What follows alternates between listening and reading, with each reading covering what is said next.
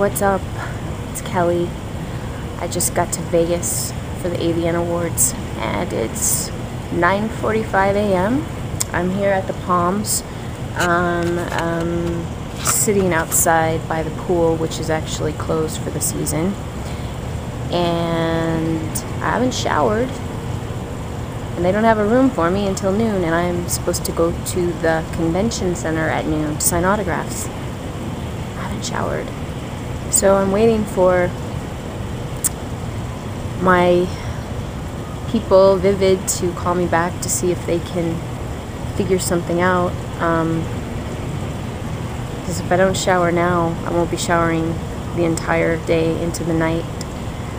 Because I go straight from the convention center to my makeup artist to back to the Palms to get dressed and then to the red carpet. So this really blows right now. My plane was even early. It's a gorgeous day, and I really wish I was just sitting by the pool at this point.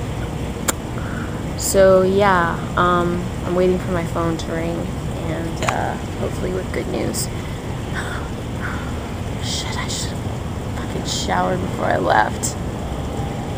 Ay, ay, ay. Okay, well, I'll keep you updated later.